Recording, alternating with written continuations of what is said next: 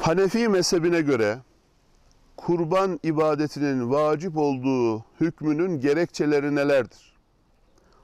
Allah'a yakınlaşmak anlamına gelen kurban ibadeti Şafii, Maliki, Hanbeli mezheplerine göre sünnet-i müekkede, Hanefi mezhebinde tercih edilen görüşe göre vacip sayılmıştır. Birçok İslam alimi Kevser suresinde geçen fesalli li rabbike venhar Rabbin için namaz kıl, kurban kes emrini kurban bayramında kurban bayramı namazını kıl, ardından kurbanını kes şeklinde açıklamışlar.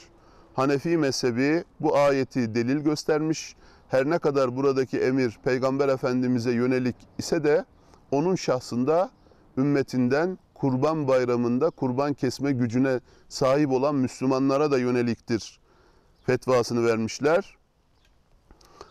Yine Peygamber Efendimizin her yıl Kurban Bayramı'nda düzenli olarak kurban kesmesini delil olarak göstermiş Hanefi fıkıh alimlerimiz. Yine Peygamberimizin şu hadis-i şeriflerini kurban ibadeti için önemli delil saymışlardır. Kurban kesecek güçte olup kesmeyen kişi bizim namazgahımıza yaklaşmasın.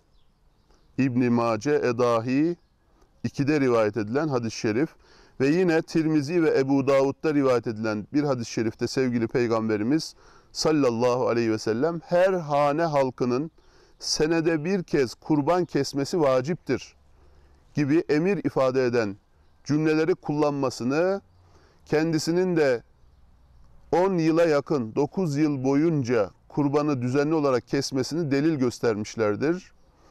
Hanefi mezhebi Kevser suresindeki venhar emrinin delaletindeki zannilik, kısmi kapalılık ve kurban kesmek babanız İbrahim'in sünnetidir.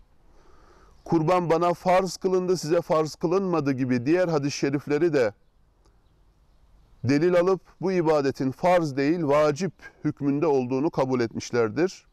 Çünkü Hanefilere göre sübutu kat'i ama delaleti zanni veya delaleti kat'i sübutu zanni olan naslarla sabit olan, delillerle sabit olan hükümler farz değil, vacip sayılmıştır.